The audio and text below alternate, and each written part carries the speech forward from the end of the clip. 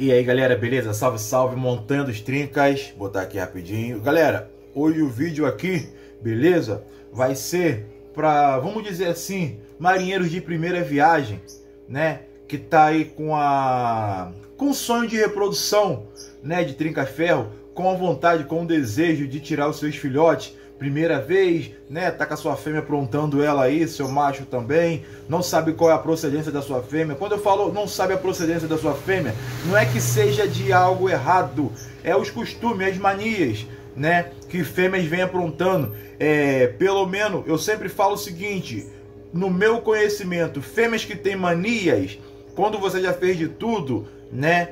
Que não adianta, que não tira. Você tem como fazer o quê?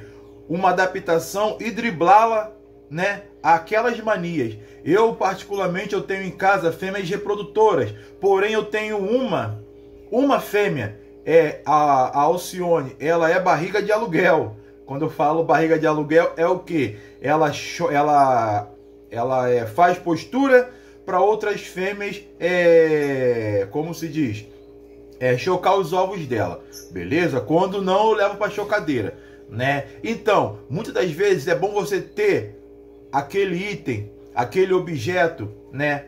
Aquilo que vai te ajudar na reprodução, você ter antes do que você pegar e passar por alguma dificuldade, algum problema, algum empecilho, né?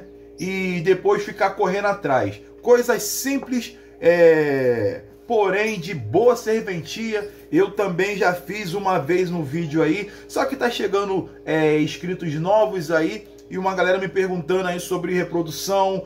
Tem, tem fêmeas que tem histórico quebra-ovo, tem fêmeas que não tem histórico quebra-ovo. Então, então você não sabe mais ou menos, né, qual vai ser o proceder. Tem primeiras posturas que a fêmea faz que ela coloca o ovo e come, joga no chão, entendeu? Principalmente filhotas, principalmente filhotas, beleza? Então você tá vendo aqui, ó, que é um ninho normal, beleza? E você vai fazer o que? Adaptação, que é um coletor de ovos. Beleza? É um coletor de ovos. Como assim, montanha? É um coletor de ovos. Às vezes você tem sua fêmea e você sabe que ela é bagunceira, ela é arteira. Existem costumes, tá? E manias. Beleza? Quando eu falo o seguinte, é costume é uma coisa que às vezes a ave não está adaptada, né? Aquele, aquele manejo ali, tá? E que você vai tentando descobrir. Agora, quando é manias, tá? Dificilmente você tira manias de fêmea. Eu sempre falo isso, né? É, você tem como fazer um drible, beleza? Na sua reprodução, nas suas fêmeas aí. Então, vamos lá. Eu vou trazer para vocês aqui, ó, igual um coletor de ovos. Tem o ovo, o ninho, correto? Tem aqui um potinho, Candeia tá ali fogueando ali pra pra tá enfemando ali com não sei o que. Ó. então, galera, tá aqui, ó, Vou precisar do ninho, de um potinho, né? Aqui é o, o potinho de papinha que eu alimento os filhotes. Eu não jogo fora quando eu. Deve ter um montão lá em casa lá. Eu sempre vou guardando, tá vendo? Ó, tá vendo aqui, ó, ele fechado, beleza? Ele aberto. E você vai precisar aí fazer um, um ovozinho de indês. Esse aqui eu não comprei, beleza? Esse aqui eu fiz em casa, o ovo de indês. Geralmente a gente vai comprar um ovo para trinca-ferro Muitas das vezes você não consegue achar um indês, até acha, mas é difícil você achar um ovo de indês do tamanho um ovo original de trinca-ferro. Às vezes você acha um, um, um pouquinho menor, né não? E tal, um pouquinho mais claro, beleza? Quase branco. Tem fêmeas que é estranha, beleza? Quando você faz alguma adaptaçãozinha e tal. Esse aqui eu fiz de Durepox, tá vendo? Misturei, fiz e peguei é, tampinha, é, esmalte de unha mesmo, pintei ele aqui, ó. Então você vai precisar aqui do ninho, correto?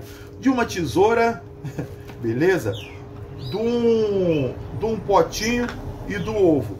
E ou tanto uma agulha com linha ou então um fiozinho de cobre fino. Vou te mostrar para que vai servir isso aqui, para você depois passar e, e, implantar, tá bom? O coletor que vai ficar assim, beleza? Aqui o meu eu já cortei, Ó, tá vendo aqui, ó? Ó. é, aqui é assim. Ó, tá vendo? Eu já cortei ele, ó. Tá vendo? Mais uma vez, vai botar e vai cair. Vou, vou preparar aqui para o vídeo não ficar muito grande, depois eu trago para vocês como que vai ficar pronto.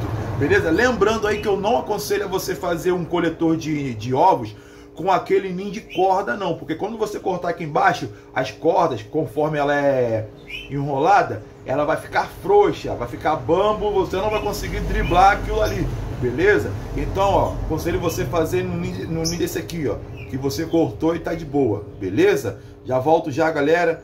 Um abraço aí, falou? Aí, galera, vim com mais um pedacinho aqui. Tô tentando enxugar o máximo para não ficar grandão o vídeo. Tá vendo aqui, ó? Como eu falei, o, o, o ninho tá furado. Aqui é a tampinha, ó. Eu furei a tampinha, tá vendo? Ela já vai encaixar aqui, ó. Tem que ficar assim, ó. ó tá vendo? Um ovo de trinca-ferro passa aqui. Você deve estar achando por aí, né? Que tá muito, muito grande aí. Mas não tá não, tá? É porque a câmera pega assim mesmo. Beleza? E aqui, ó, eu usei isso aqui para poder furar. Tu pode furar do jeito que você quiser aí e tal. Tá vendo, ó, como é que tá aqui, ó. Ó. Ó. Furado em volta aqui. Aqui eu vou usar, é igual eu falei, ó. Tá vendo aqui, ó. Vai ficar assim, correto? Vai ficar assim. Aqui eu vou usar uma linha para fazer uma costura, tá bom? A montanha eu posso colar também, beleza, tu pode colar também. Eu não tenho cola aqui não. Pode colar, beleza? Tá vendo? Vou parar mais uma vez, daqui a pouco eu volto. Tranquilidade? Para mostrar para vocês aí, beleza? Como eu vou fazer. Ó, lembrando aqui, ó, rapidinho. Tá vendo aqui, ó? Lembrando aqui que eu tirei um pedacinho aqui do, do plástico aqui, do, da tampa. Beleza? Daqui a pouco eu já volto aí. Aqui, ó. Ó. Rapidinho, ó. Tá vendo? Ele vai ficar assim. Beleza? Opa. Ó. Vai ficar assim, daqui a pouco eu volto aí. Guarda aí, guarda aí. E aí, galera, beleza? Agora voltei. Então, finalizando aqui, né? O vídeo mostrando pra vocês aí. Ó, então, galera. Aí, pra finalizar, finalizando, né? Tá vendo aqui, ó? É, costurei, beleza? O, o, a tampa do potinho aqui, tranquilo? Igual, vim com a, com a linha aqui fazendo Fazendo malabarismo aqui, ó, tá vendo? Como é que tá? E outra coisa, galera, ó, tá firme, firme, entendeu? Ó, só claro que se você mexer, pô, querer tirar, tu vai tirar, entendeu? Então, ó, aí fica aqui, ó, ó. Beleza, como é que ficou o coletor de ovos aqui? Lembrando aqui, tá, galera? Ó, detalhes que você pode estar tá driblando aí, tá? Lembrando aqui, ó. Dentro do potinho você pode colocar é, um pedaço de espuma, beleza? Isso aqui é um pano aqui que eu limpo aqui, como se fosse uma espuma, ó. Ele vai ficar lá embaixo, ó. Beleza? Ó, como é que ele vai ficar, ó, tá vendo? Tá bom? Lembrando aí, tá? Eu não aconselho colocar para cima do meio, não. Eu, eu, eu aconselho colocar pro, do meio para baixo aqui, porque tem fêmeas assim como a Alcione, ela é muito curiosa, tá bom? Ela fica botando a cabeça lá dentro da... Aqui dentro para tentar pegar. Beleza? Aqui, ó. Então, vai ficar assim, beleza? Tá? Tu vai pendurar na tua gaiola. Fêmea colocou o ovo, vai, vai pegar, ó. Ó. Cadê o ovo? Tá lá dentro, lá, ó. Tá vendo? Ó. Tá lá dentro, beleza? Mais uma vez. Beleza? Lembrando aí, ó. Coletor de ovos. Tranquilo? O ovo tá aqui. Ela vai colocar, como, ó. Tá vendo aqui, ó. Ó. Opa, calma aí, calma aí, calma aí. Ó, tá vendo aqui, ó? Ela fica, é porque tá, tô tentando mostrar pra vocês. Ó, jogar devagar aqui, ó. ó vai cair aqui, ó. Ó, tá vendo? É porque tá, tá, tá virado, galera, ó. Tá vendo? A intenção do ovo é isso aqui, ó. Vai ficar aqui tranquilo na gaiola, ó. Cadê? Tá lá embaixo. Aí você vai fazer o quê? Só você colocar outra coisa aqui, uma observação legal para vocês aqui. Coloquem um ninho, tá bom?